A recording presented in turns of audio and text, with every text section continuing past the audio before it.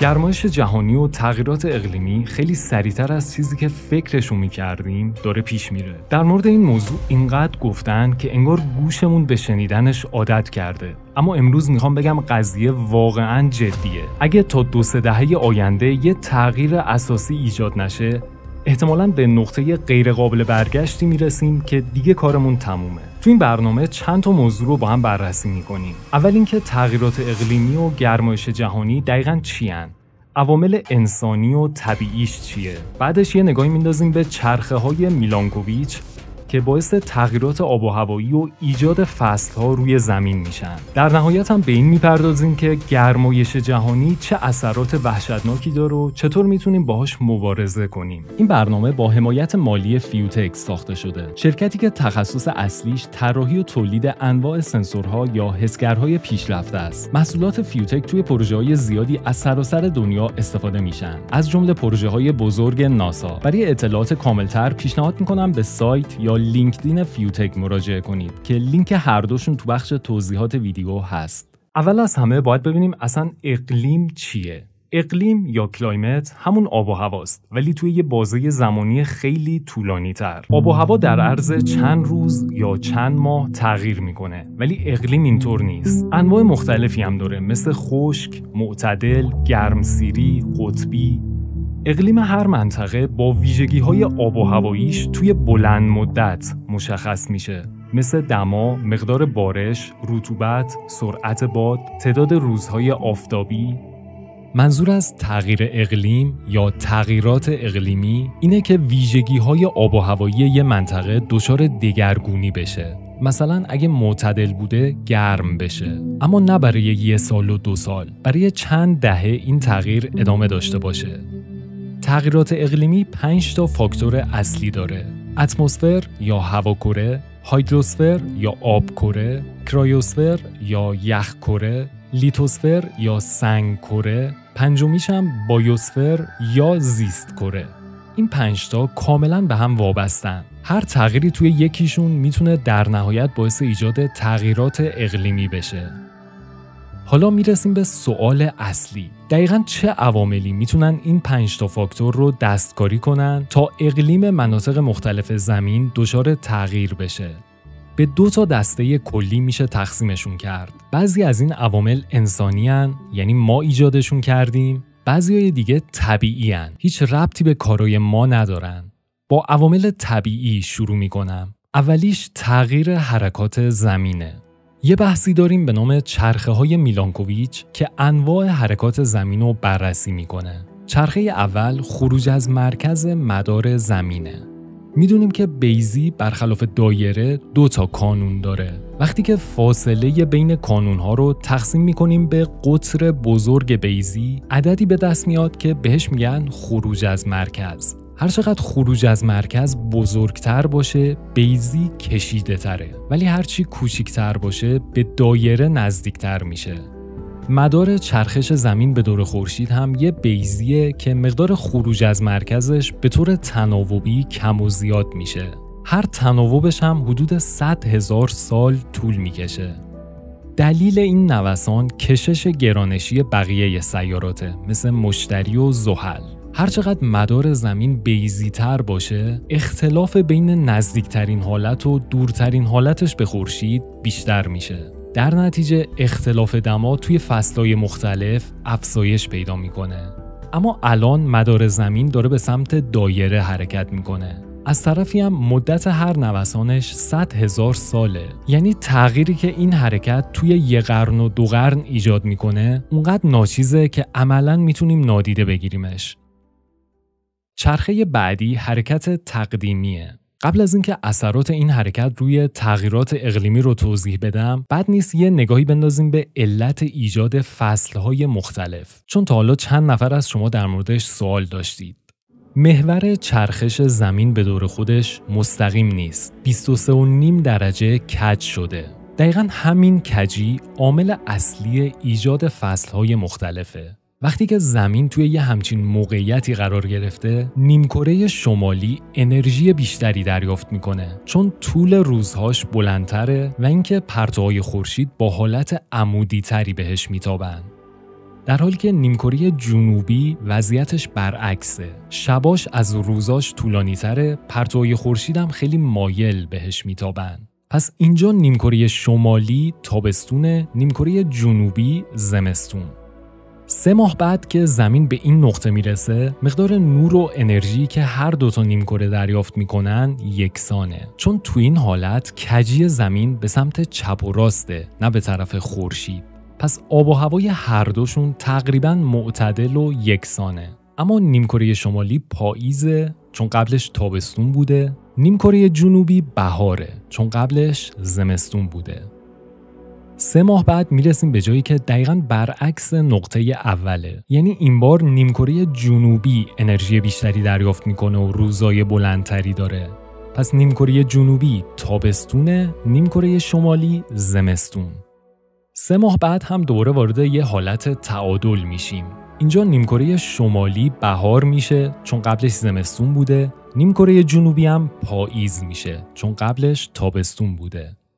در نهایت برمیگردیم به همون حالت اول و یه چرخش زمین به دور خورشید تموم میشه. بنابراین دلیل ایجاد فصلهای مختلف همینه. انحراف محور چرخش زمین. نکته ای که وجود داره اینه که مقدار این انحراف هم ثابت نیست. دو جور تغییر می‌کنه. اول اینکه زاویهش از 22 و یک دهم درجه می‌تونه باشه تا 24 و نیم درجه که تقریبا هر 41 هزار سال یه نوسان انجام میده. الان حدود 23 و نیم درجه است یعنی تقریبا وسطه ولی خب داره میره به سمت کمتر شدن. طبق توضیحی که در مورد فصل ها دادم می‌تونیم نتیجه بگیریم که هرچقدر زاویه این انحراف کمتر بشه فصل های زمین معتدلتر میشن زمستونا یه کوچولو گرمتر میشه تابستونا یه مقدار خنکتر ولی هنوز زمان زیادی مونده. تقریبا دوازده هزار سال دیگه طول می‌کشه تا این زاویه به کمترین مقدار خودش برسه. پس این یکی هم نقش چندانی توی تغییرات اقلیمی فعلی نداره. تغییر دومش اینه که هر 26 هزار سال یه دور دور خودش میچرخه که بهش میگن حرکت تقدیمی محور زمین. شبیه یه فرفره ای که غیر از چرخیدن دور خودش یه مقداری تلو تلو هم می‌خوره. دلیل این حرکات نیروهای گرانشیه که از طرف خورشید و ماه به زمین وارد میشه. خب حالا این چرخه چه اثری روی آب و هوای زمین داره؟ الان تابستونای نیمکره جنوبی از تابستونای نیمکره شمالی یه مقدار گرمتره. چون وقتی که نیمکره جنوبی تابستونه زمین توی قسمتی از مدارش قرار گرفته که کمترین فاصله رو از خورشید داره اما حدود 13 هزار سال بعد قضیه برعکس میشه یعنی وقتی زمین اینجاست توی نیمکره شمالی تابستونه. چون تا اون موقع محور زمین نیم دور چرخیده. این سه تا از چرخه های میلانکوویچ بود که دیدیم اثراتشون روی تغییرات اقلیمی زمین خیلی بلند مدته. بیشترین رد پاشون رو میشه توی تاریخ گذشته زمین پیدا کرد مثل دوره های یخبندان. عامل طبیعی دوم که می‌تونه باعث تغییرات اقلیمی بشه فعالیت های خورشیدیه. نور خورشید همیشه ثابت نیست. تقریبا هر 11 سال یه بار فعالیت خورشید به طور متناوب کم و زیاد میشه که بهش میگن چرخه های خورشیدی. تو این چرخه ها مقدار پرتوهاش، لکه های خورشیدی یا تعداد ذراتی که توی فضا پراکنده می‌کنه دچار تغییراتی میشه که روی اتمسفر یا سطح زمین اثر می‌ذارن. از حدود نیم قرن پیش که ماهواره ها انرژی دریافتی از خورشید رو اندازه گیری کردن به این نتیجه رسیدن که تو این مدت فقط یک دهم درصد بالا پایین شده پس نقش این عامل هم توی گرم شدن زمین و تغییرات اقلیمیش خیلی ناچیزه. عامل طبیعی سوم فعالیت های آتشفشانیه. آتشفشان ها کلا از ابتدای پیدایش زمین نقش مهمی توی آب و هوا داشتن. ذرات معلقی که تولید می‌کنن ممکنه تا چند ماه یا چند سال جلوی بعضی از پرتوهای خورشید رو بگیرن و باعث خنکتر شدن زمین بشن.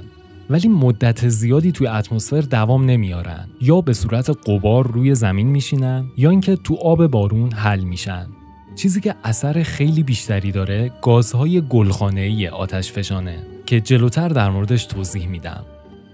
عامل طبیعی چهارم پدیده های هواشناسیه مثل النینو، لانینا، انسو یا خیلی پدیده های دیگه.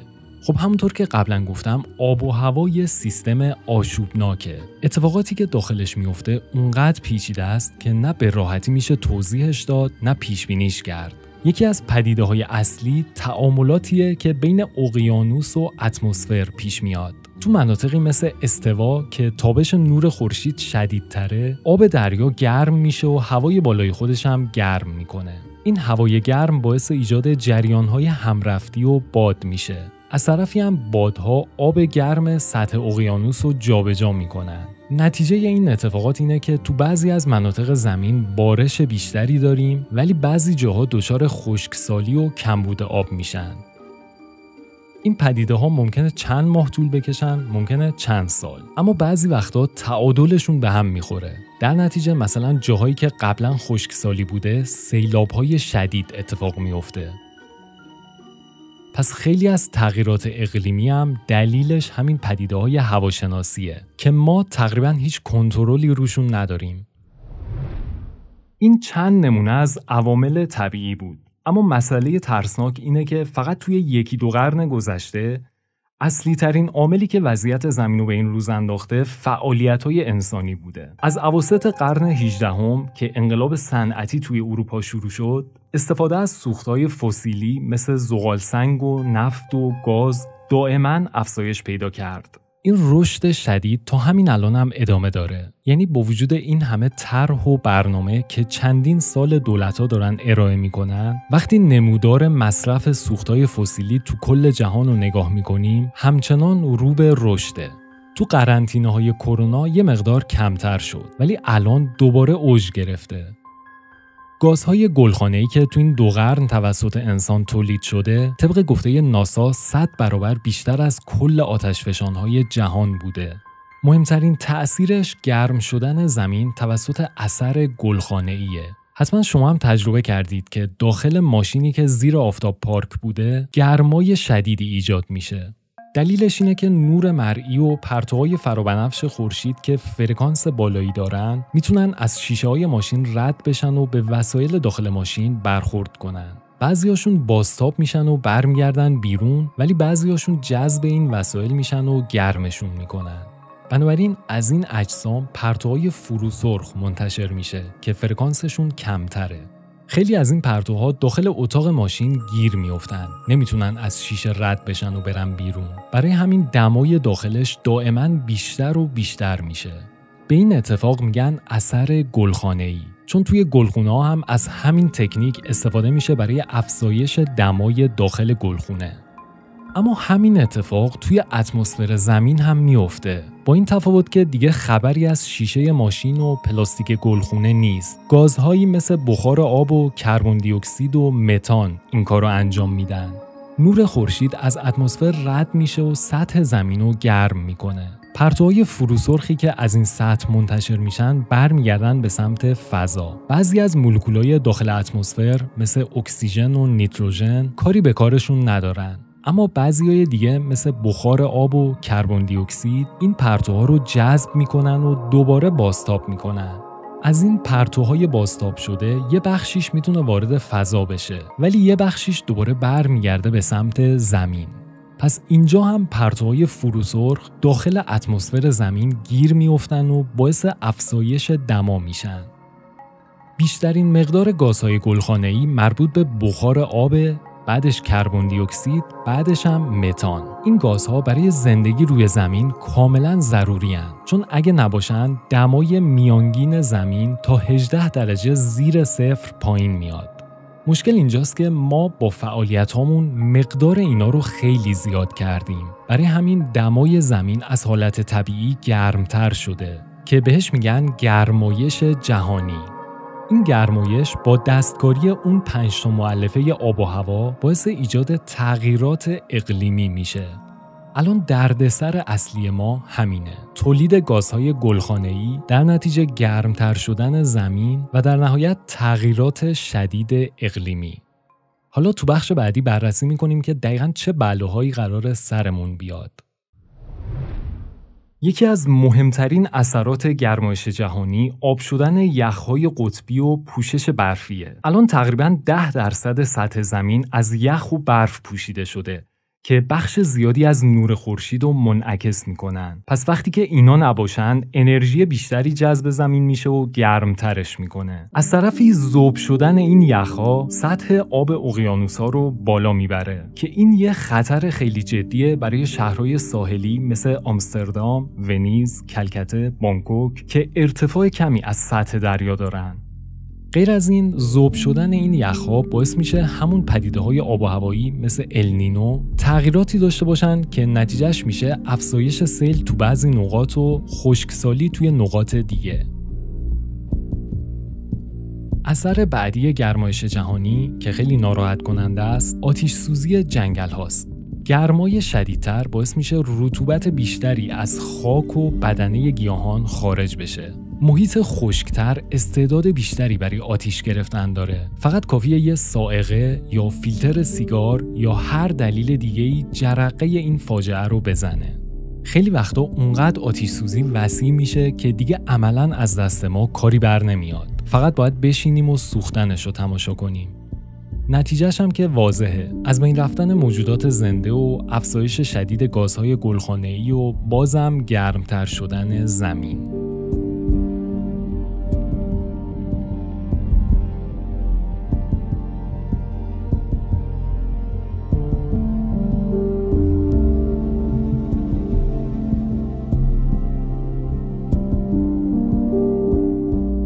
نقشه تعداد آتیش سوزی ها تو کل جهانه. با این حال یه بخش خیلی بزرگی از جنگل ها هم دارن به دست اشرف مخلوقات از بین میرن. تقریبا به همون اندازه ای که آتیش داره نابود می‌کنه. تاثیر بعدیش افزایش قبار و ریزگرد هاست. خشک شدن و فرسوده شدن خاک زمین، افزایش بادها، از بین بردن جنگل و پوشش گیاهی توسط انسانها، اینا همه از دلایل رشد 55 درصدی قبار تو دو قرن اخیره. البته گرد و غبار هم چرخه های مخصوص خودشو داره که نقش مهمی توی اکوسیستم زمین بازی می‌کنن. مثلا قباری که از صحراها و بیابونها بلند میشه مواد مدنی مفیدی مثل نیتروژن و فسفر و آهن داره که وقتی روی جنگلهایی مثل آمازون میشینه نقش کود معدنی رو ایفا می‌کنه. یا توی اقیانوسها باعث رشد پلانکتون هایی میشه که اکسیژن تولید می‌کنن. ولی دوباره مشکل اینجاست که مقدارش از حالت تعادل خارج شده. برای همین دردسرای بزرگی ایجاد کرده مثل به خطر انداختن سلامتی موجودات تخریب کشاورزی کاهش کیفیت آب رودخونه ها یا مختل کردن سلول های خورشیدی. در مورد تاثیر گرد و غبار روی گرمتر شدن زمین اختلاف نظر وجود داره. بعضیا معتقدند ذرات غبار با پراکنده کردن نور خورشید تا حدودی سیاره رو خنک نگه میدارن. اما یه عده دیگه میگن که بعضی از ذرات غبار خودشون اثر گلخانه‌ای تولید می‌کنن. به حال با این وضعیت خشک شدن دریاچه ها، سوختن جنگل ها، افزایش بیابون ها به نظرم باید انتظار داشته باشیم مقدار گرد و غبار سال به سال بیشتر بشه. من شخصا در مورد شهر خودمون تا حالا ندیده بودم که این تعداد از روزای سال هوا پر از غبار شدید باشه. خیلی از شهرهای دیگه هم امسال همینطور شدن. انگار که وضعیت فیلم اینترستلار توی واقعیت داره اتفاق میافته.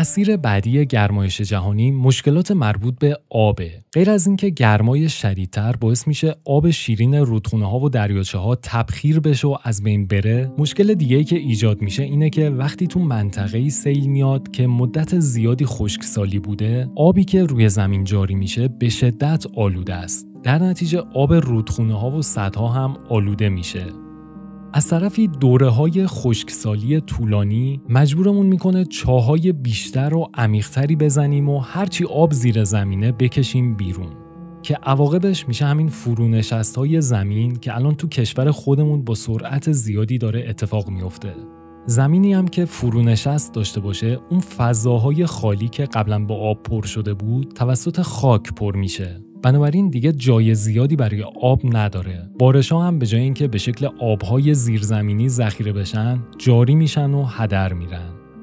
همطور که می‌بینید اتفاقات بعد زنجیروار ادامه دارن و شدیدتر میشن.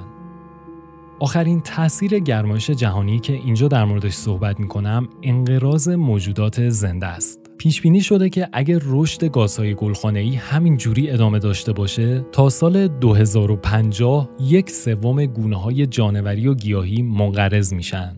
یه فاجعه خیلی بزرگ که اگه اتفاق بیفته هیچ راه برگشتی نداره. باورش خیلی سخته که بعد از تمام انقراضهای طبیعی که قبلا اتفاق افتاده مسئول آخرین انقراض خود ما باشیم.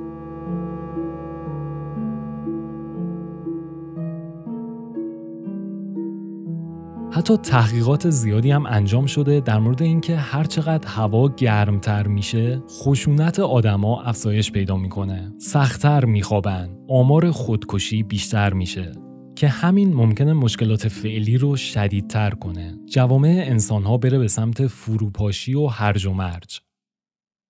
حالا بعد از تمام این حرفا سوالی که به ذهنمون می‌رسه اینه که راه حلش چیه؟ اولین و مهمترین کاری که باید انجام بدیم کاهش مصرف سوختهای فسیلیه. تا تولید گازهای گلخانه‌ای پایین بیاد و سرعت گرم شدن زمین کمتر بشه. درسته که اصلی ترین گاز گلخانه‌ای روی زمین بخار آبه ولی ما هیچ کنترلی روی بخار آب نداریم. باید کربن دی اکسید رو کنترل کنیم که عامل دومه و خودمون توی تولیدش نقش داریم. کارخونه ها یا نیروگاه های تولید برق که از سوخت های فسیلی استفاده می‌کنن باید متوقف بشن. باید تا حد امکان انرژی خورشیدی یا سوخت هسته‌ای یا حداقل سوخت های زیستی که کربن کمتری دارن جاشو بگیره. وسایل نقلیه هم همینطور. باید ماشینای برقی تعدادشون خیلی بیشتر بشه. الان چند تا از بزرگترین خودروسازای دنیا مثل فورد، مرسدس بنز، ولوو اعلام کردن که تا سال 2040 فروش خودروهای بنزینیشون کاملا متوقف میشه. فقط برقی. حالا باید دید چقدر سر قولشون میمونن. سال 2020 بزرگترین تولید کننده های کربن دی اکسید تو دنیا اول چین بوده بعدش آمریکا، هند، روسیه، ژاپن. پس منطقیه که بیشترین اقدامات رو همینا باید انجام بدن چون متاسفانه گرمایش زمین آسیب اصلیش به کشورهای ضعیفتری می‌رسه که خودشون نقش چندانی تو این آلودگی ها نداشتن از زمان شروع انقلاب صنعتی دمای میانگین زمین تقریبا یک درجه افزایش پیدا کرده. طبق گفته دانشمندا وقتی این مقدار به دو یا سه درجه برسه به احتمال زیاد دیگه قابل برگشت نیست. اگه شرایط کنترل نشه شاید رسیدن به سرنوشت داغترین سیاره یعنی زهره خیلی دور از انتظار نباشه 96 درصد اتمسفر زهره کربن دی اکسیده که باعث شده اثر گلخانه‌ای بیشتر از هر سیاره دیگه ای اتفاق بیفته و دمای سطحش تا 470 درجه بالا بره. چند روز پیش گدارد ناسا اعلام کرد که جولای امسال احتمال داره گرمترین ماه زمین از صدها سال پیش باشه و اینکه پدیده آب و هوایی النینو که باعث شد سال 2016 گرمترین سال ثبت شده زمین باشه اواخر امسال دوباره به اوج خودش می‌رسه. حتی متاسفانه پیش بینی کردن سال آینده یعنی 2024 اوضاع بدتر هم میشه. پس به این نتیجه رسیدیم که اصلی ترین کار کاهش تولید کربن دی اکسیده. بعد از اون می‌تونیم با روش های مختلفی کربن دی اکسید اتمسفر رو کمتر و کمتر کنیم. یکیش اینه که زمین های خالی و بیابون ها رو تبدیل کنیم به جنگل. البته اینجور کارها هم حساسیت بالایی دارن چون تغییرات کوچیک توی اکوسیستم زمین ممکنه باعث اتفاقات پیش بینی نشده بزرگی بشه یه راه دیگه که ارائه کردن استفاده از تکنولوژی هایی که می‌تونن کربن دی اکسید رو از اتمسفر جذب کنن. یا مثلا آینه های بزرگی روی سطح زمین نصب بشه که یه بخشی از پرتوهای خورشید رو منعکس کنن به سمت فضا تا دمای زمین پایین بیاد.